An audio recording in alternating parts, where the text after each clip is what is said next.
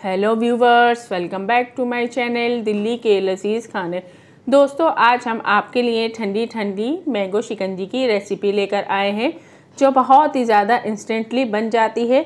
और ये आप दो से तीन मिनट में बहुत ही आसानी से घर पर बना सकते हैं। ये फ़ूड स्ट्रीट रेसिपी है तो ये रेसिपी हम आपके साथ शेयर करते हैं। तो चलें, इसे बनाना शुरू करते हैं।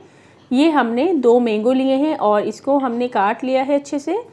और ये हमने चीनी ली है, चार टेबल स्पून हम चीनी डालेंगे और आधा नींबू का रस डालेंगे और ये आइस क्यूब से और हाफ़ टी स्पून हम ये काला नमक डालेंगे। अगर आप चाहें तो काला नमक स्किप कर सकते हैं।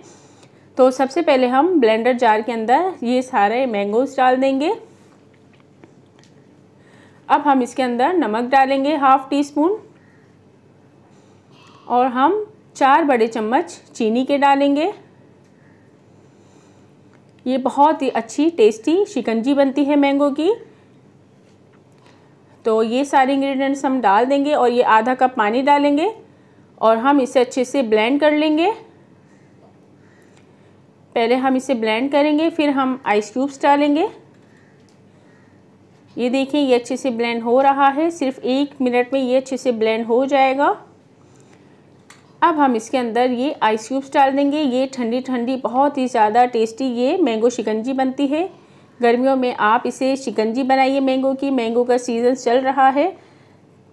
तो ये देखें, ये अच्छे से ब्लेंड हो गई है। बर्फ़ भी इसमें अच्छे से क्रश हो गई है।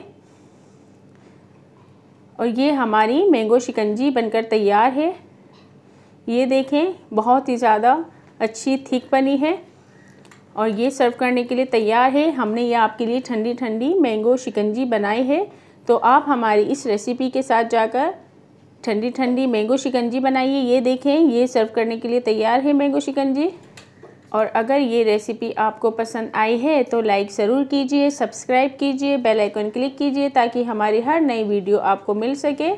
नेक्स्ट वीडियो में इंशाल्लाह आपसे फिर मुलाकात होगी एक नई रेसिपी के साथ। Thank you for watching